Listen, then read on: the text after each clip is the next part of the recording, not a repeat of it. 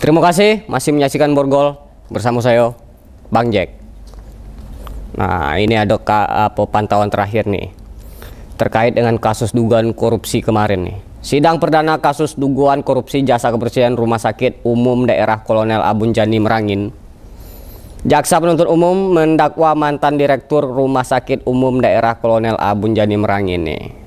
Berman Saragi bersama rekannya Pebi Yonaka Yonoka maksud saya melakukan korupsi anggaran kebersihan rumah sakit senilai 684 juta rupiah nih. Wah.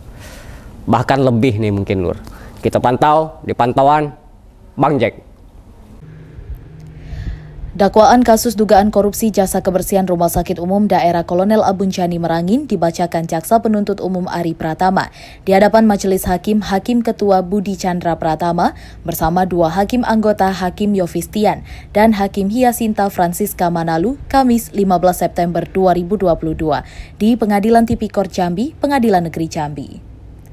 Dalam dakwaan, Berman Saragih diduga melakukan perbuatan korupsi dari 2017 sampai dengan 2021 dengan menggunakan cara yang sama. Dalam melakukan perbuatannya, Berman kemudian mengajukan permohonan lelang ke ULP Kabupaten Merangin.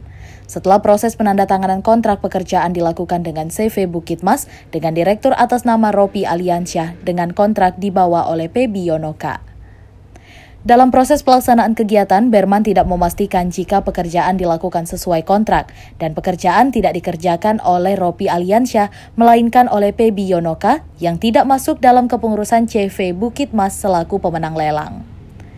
Dalam melaksanakan pekerjaan, Pebi tidak menggunakan peralatan sebagaimana yang tertera dalam kontrak, melainkan dilakukan secara manual serta tidak membawa petugas kebersihan dan pengawas seperti yang diwajibkan dalam kontrak. Diketahui pencairan untuk pekerjaan bahkan sudah dilakukan sebelum kontrak ditandatangani, bukan setelah pekerjaan selesai. Pada 2017, nilai kontraknya mencapai 495 juta rupiah lebih hingga 2021. Total pencairan yang dilakukan untuk jasa kebersihan ini mencapai 2,48 miliar rupiah dengan nilai kerugian negara berdasarkan perhitungan BPKP mencapai 648 juta rupiah lebih. Kedua terdakwa didakwa dengan pasal 2 ayat 1 Undang-Undang Nomor 31 Tahun 1999 tentang pemberantasan tindak pidana korupsi sebagaimana telah diubah dengan Undang-Undang Nomor 20 Tahun 2001 tentang pemberantasan tindak pidana korupsi junto pasal 55 ayat 1 ke 1 KUHP junto pasal 64 ayat 1. Iqbal, Cek TV, melaporkan.